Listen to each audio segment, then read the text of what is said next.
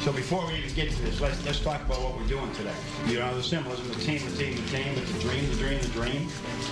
And when all, any of us think we have something tough, we got a tough exam, or we got, you know, we, we had a bad game, or we got a bad call, or a breakup with your girlfriend, or something happens, you talk about what Martin Luther King did for for for everyone, for for for, for Caucasians even like myself, right? That all of a sudden sitting there, this is bravery, this is incredible. And, and the way, best way you can honor him at any time is make maximize every opportunity. One of his famous famous sayings was, "Nothing pains people more than to just think. Just think." And they don't want to think; they just want to keep doing the same old thing, whether it's right or wrong. And as a result, that's how, that's that's why we're wearing this stuff today. And I couldn't be prouder to wear it. Let's go get this thing done today, all right?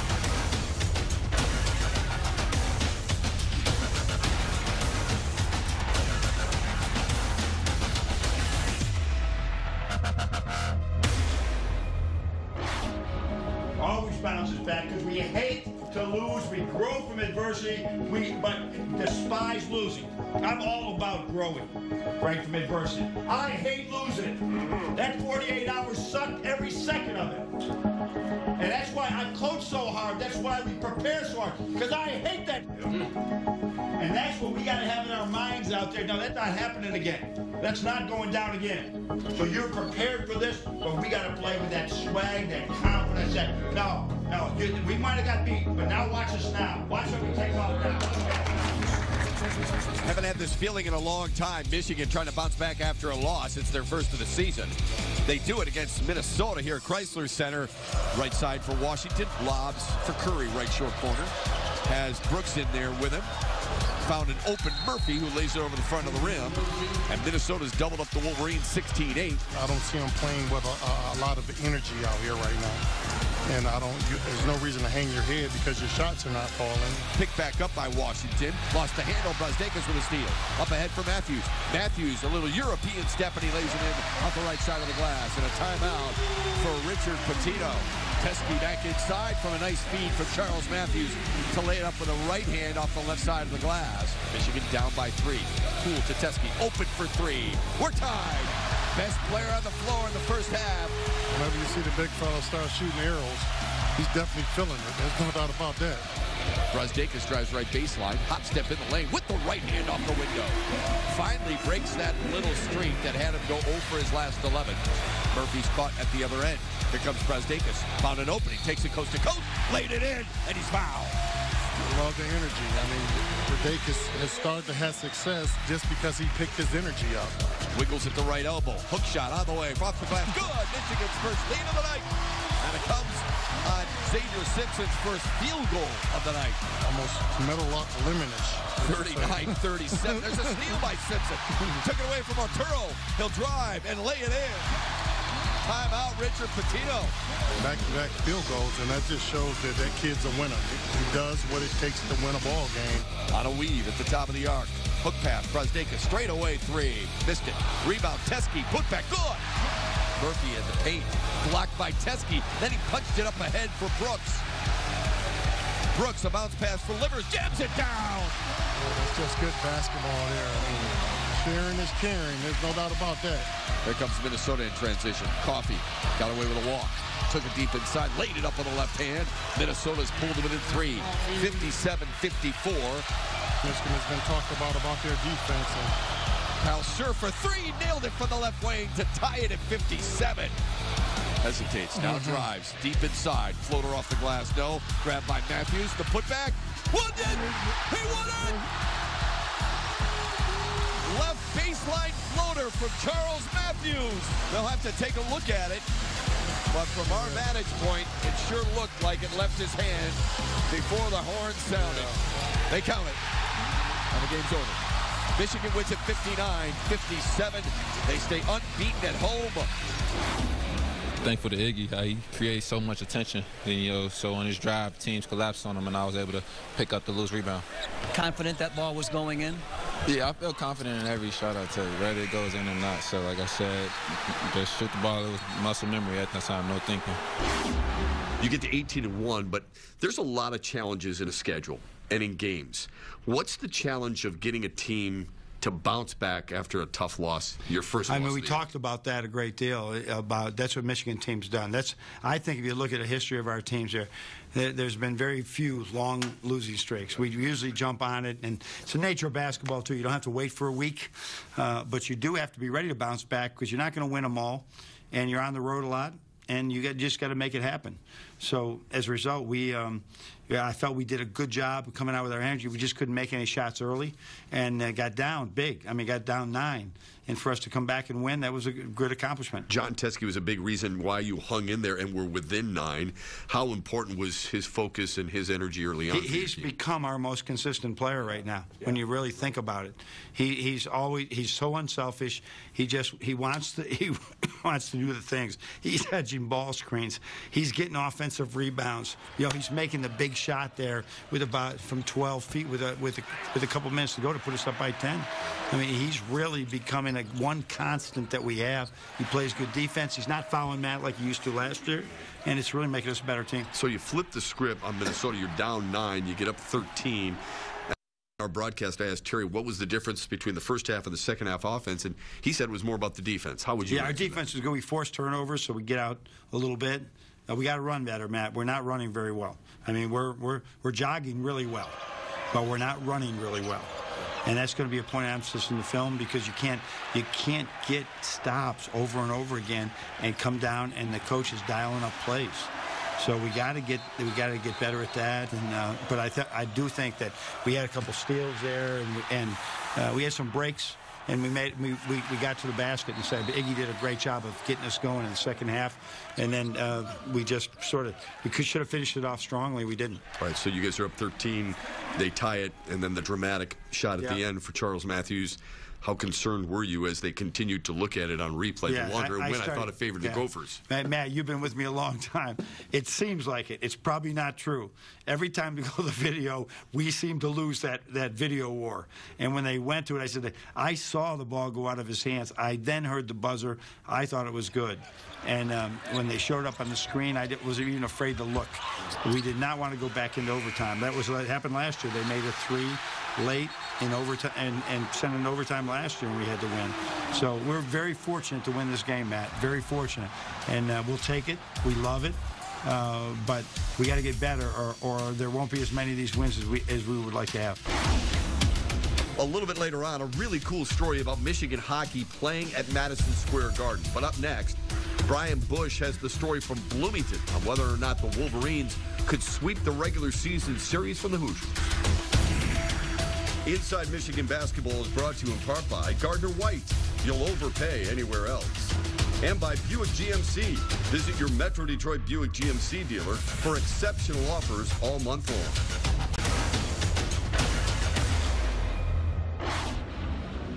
Which team is going to be more glued tonight? We're stronger today than we were last week, and we're more ready for anything. That's right. Right? We weren't ready for something that was coming. We weren't ready for adversity. We hadn't seen much of it. Now you're more ready. You experienced it. We got through it. The sun came up, and we're ready to go. We're all better for it. Coaches are better for it.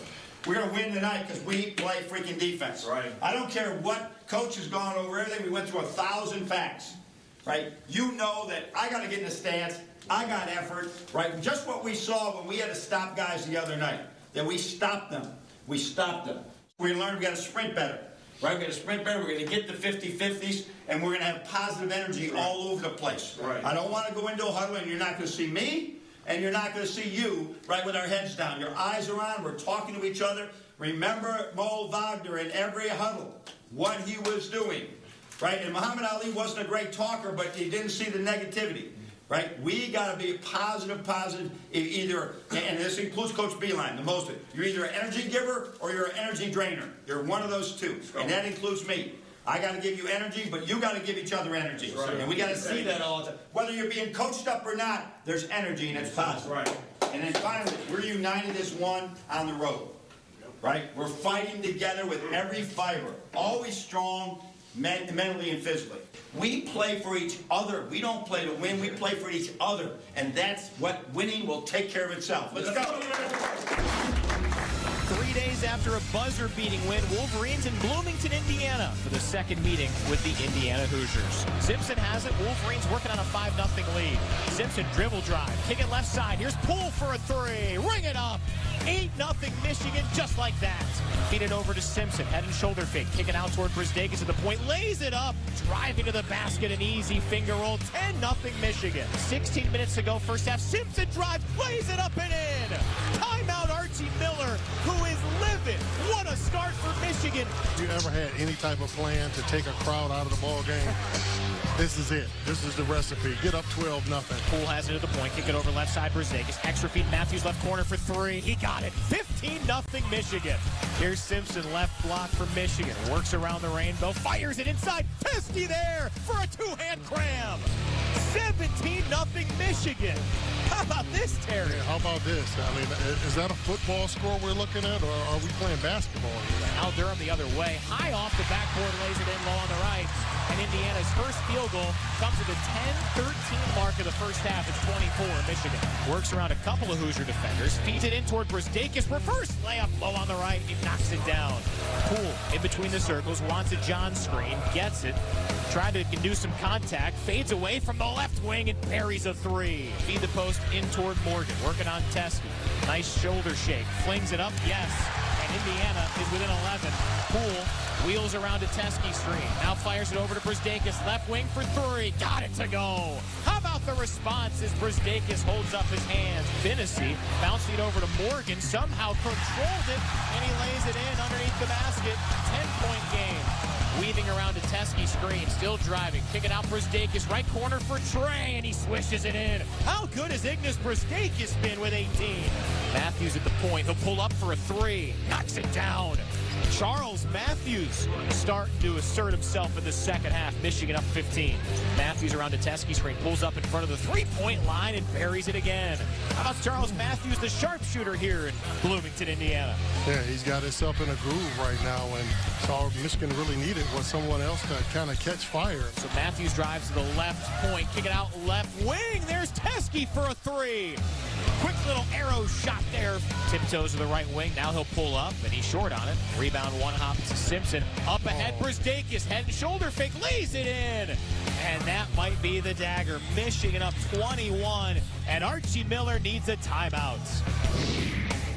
First, take me through that early run. What was key yeah. for you guys to go out 17 You know, I think the whole theme after our Wisconsin loss, Minnesota barely win, is that we got to hit singles. Just look for each other, find each other, step up and make shots when you're open, and don't try and do too much because it was really that extra dribble, that that simple play wasn't happening, and then we turned around and put some great defense. I mean, they couldn't, they didn't get shots up. We were stealing the ball. We really played well. But you said this three-game and seven-day stretch yeah. would be tough. Yeah. Well, you took the rubber match here yeah. today. What's it say about this team to do what they did with this tight schedule? Yeah, I don't look ahead in the schedule very much, but because there was two trips, I had to make decisions on departure times, meal times, all these things that I looked at. I said, "Whoa, that's interesting, right? That, that we're going to go to Wisconsin where we, we've we've we've only won twice, right? And then we're going to go to Indiana where we've only won twice, mixed in with a Minnesota team that's pretty good. So I, I you look at it, you want to win all three, but we'll take that two out of three. Coach, congratulations. Thanks for the time. All right, thank you.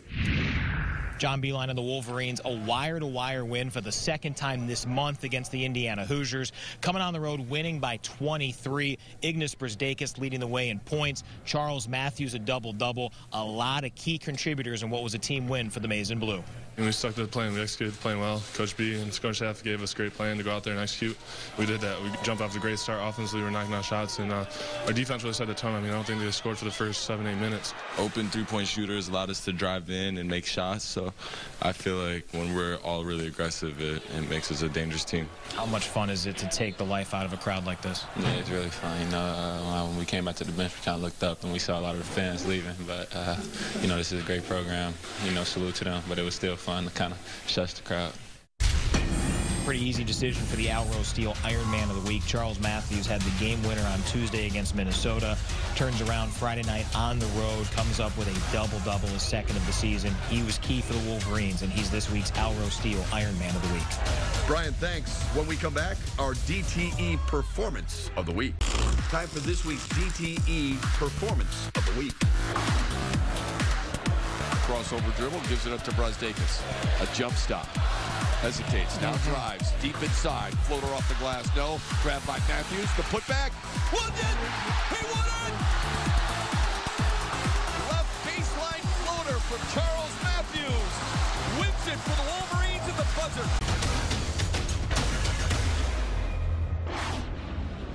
The women's basketball team is hosting its annual Crash Crisler event today against Michigan State at 2 p.m.